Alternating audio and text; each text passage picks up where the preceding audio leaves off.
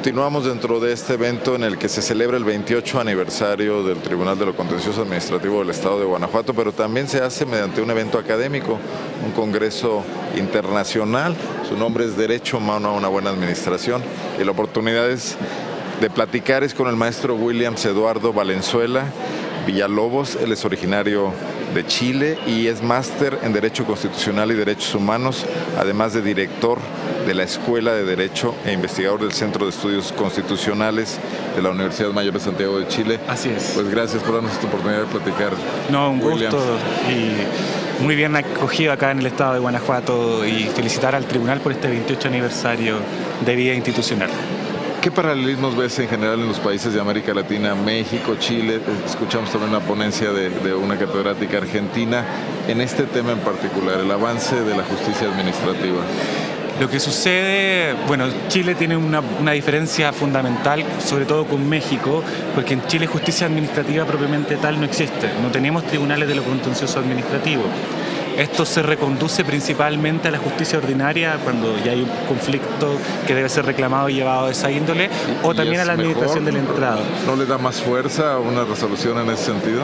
Yo no, o sea, ambos sistemas tienen sus pros y sus contras, pero no existe una doctrina administrativa que, o jurisprudencia administrativa que emane propiamente tal de un tribunal de esta naturaleza se reconduce como si fuera un procedimiento de como una indemnización de perjuicio por un choque de automóviles. Pero entre el Estado y el particular.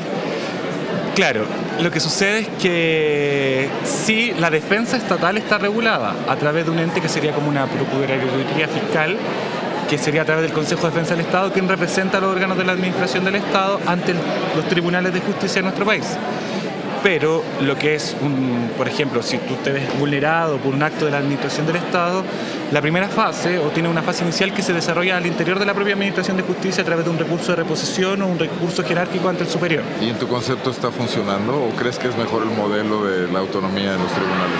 Yo pienso que la especialización de los tribunales y los modelos de autonomía siempre son mejores.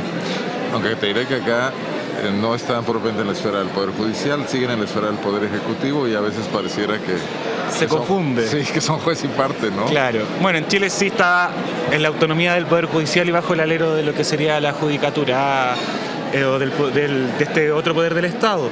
Pero lo que sucede principalmente eh, en, en mi país es que sí se ha avanzado mucho en la especialización de la judicatura. Está muy dividida en todos los ámbitos. Lo, civil, lo penal, lo familiar, lo laboral. Tenemos la libre competencia, tenemos lo constitucional, lo tributario y aduanero. Tenemos una serie de tribunales, pero el legislador se le ha olvidado de esto, de esta declaración que tiene nuestra constitución. ¿No hace esto al Poder Judicial más fuerte en Chile?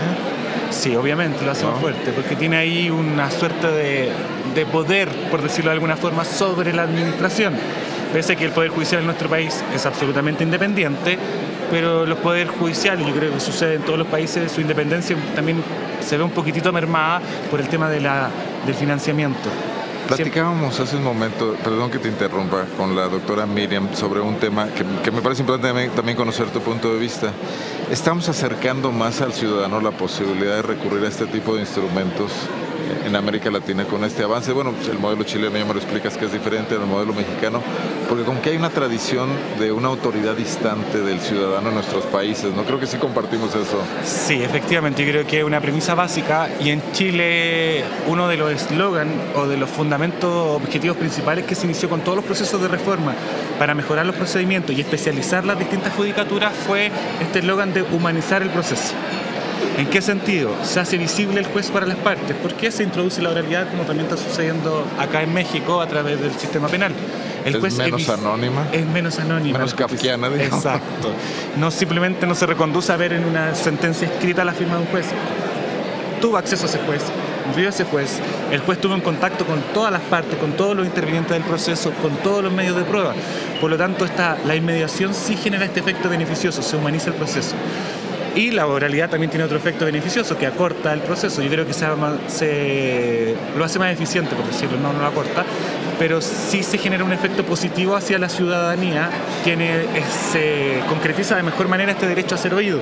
Ya no solamente oído a través de escritos, como era antiguamente, que se recogía todo en estos expedientes, la persona sabe quién resolvió su conflicto, por decirlo de alguna forma. Habría que humanizar a todo el Estado, ¿no? En ese sentido. La administración propiamente tal más que la administración de justicia. En un tema que nos preocupa mucho en general, creo que a todos los países de América Latina, y ustedes acaban de pasar por algo similar, que es el tema de la corrupción y la impunidad sobre todo. Que, hay sociedades donde se presenta esto, pero hay un castigo y esto va generando una, una especie de enseñanza social, pero nuestros países todavía están muy distantes de esto.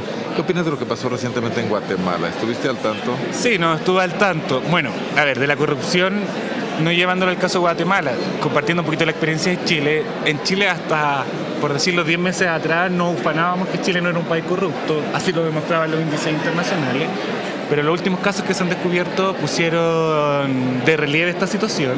Se generó todo un conflicto entre lo que es el dinero y la política, sobre todo la empresa, dinero, política. ¿Y cercano a los altos niveles de gobierno, a la presidencia? Cercano a todos los altos niveles de gobierno, que afectó principalmente, por ejemplo, está en entredicho, está en investigación, nada aprobado, pero que sí generó un cambio de gabinete, porque el ministro del Interior, jefe político del gobierno, estaría involucrado supuestamente en la emisión de boletas para una empresa por donde habían obtenido financiamiento para efectos de la campaña de la actual presidenta de la República.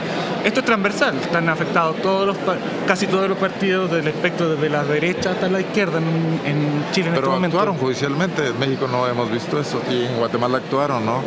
¿Respondió el sistema judicial chileno? Es que yo creo que todavía no ha respondido a cabalidad, porque está todo en fase de investigación, está todo surgiendo. Ahora vamos a ver si hay sentencia. Es más mediático. Exacto. Chile se juega mucho con, la con lo mediático, con los medios de comunicación. Es más, esto... ¿Y no se están convirtiendo los medios en una especie de tribunales alternos ante la baja velocidad del sistema judicial? Sí. El cuarto poder sí existe. Pero tiene sus riesgos, muchos, ¿no? Tiene muchos riesgos. En Chile se utiliza mucho. Una de las críticas, y te lo comento, fue al propio Poder Judicial, porque la audiencia de formalización de todos estos casos de corrupción, donde está involucrado dinero, política, empresa privada, se están transmitiendo en vivo. Tiene a toda la televisión en un sistema moral. Exacto, tiene a toda la televisión en una suerte de reality show, por decirlo de alguna forma, expectante con audiencias de formalización que han sido larguísimas, porque obviamente son casos complejos, existe mucha información que investigar y sobre todo está metido la Comisión de Delitos Penales y también la Comisión de Infracciones de nivel tributario, porque se hizo todo a través de un sistema, de un engranaje de emisión de boletas por servicios no prestados, donde hoy día el Servicio de Impuesto Interno está liquidando los impuestos. ¿Tú crees que esto pone a prueba a los sistemas judiciales también, enfrentar casos de este tipo? ¿Son como de frontera? Exacto, no, los pone de sobremanera a prueba, o sea, hoy día en nuestro país está toda la sobre todo en esta fase investigativa, la mirada puesta en el judicial, pero también en lo que dice relación con el organismo que es el Ministerio Público a través del cuerpo fiscal que está realizando esta investigación.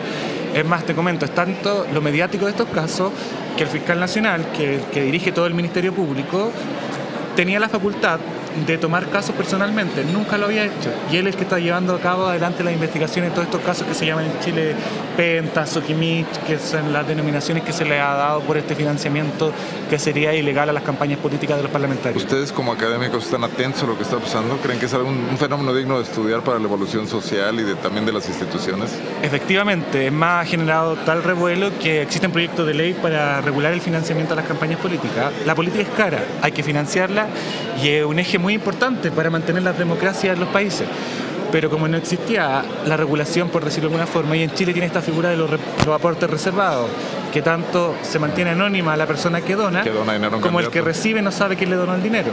Se supone que no sabe. Pero genera un... Pues, genera un incentivo perverso. Sí, claro. Genera, no genera la libertad de, la, de las personas que dirigen el país de tomar decisiones. Yo creo que en cierto sentido ¿Por qué un empresario financió a diputados y senadores desde izquierda a derecha? Porque mantiene cooptado el poder. ¿Cómo le va a devolver el favor? Claro. ¿Sientes que este, este tema es, es, ahorita fundamental en América no, Latina? No, es absolutamente fundamental en América Latina. O sea, yo creo que es un desafío importante. Es un desafío importante para Chile que por primera vez nos enfrentamos a niveles de corrupción tan altos. Muy bien. Creo que se nos está acabando el tiempo, William, pero fue muy interesante además conocer estos, estos temas de los casos chilenos.